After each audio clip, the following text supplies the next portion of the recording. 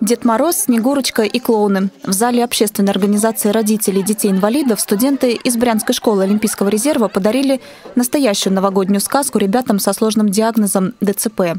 На этот раз праздник оказался необычным. Помимо Деда Мороза и Снегурочки, ребят приехал поздравить депутат Государственной Думы Николай Валуев. Известный политик в дружественной и простой обстановке общался с детьми и их родителями. И, конечно, подарил всем подарки. Мне кажется, это хорошая, добрая традиция. Мы ей следуем.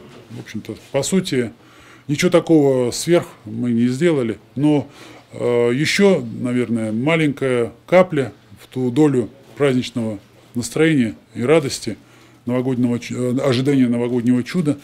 Дед Мороз уже приехал до нас, так что, собственно говоря, мы были такими условными Дедами Морозами.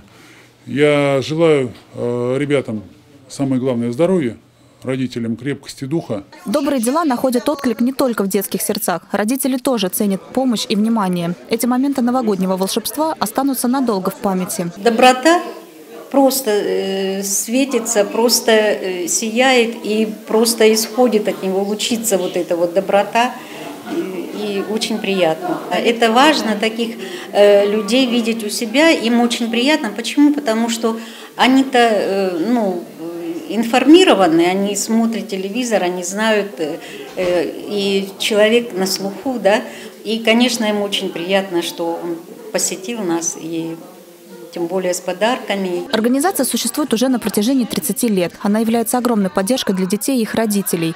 Постоянно проводятся различные мероприятия. Все для того, чтобы зарядить ребят новогодним настроением и подарить веру в светлое будущее. Екатерина Пенько, Анатолий Чекрыгин. События. Брянск.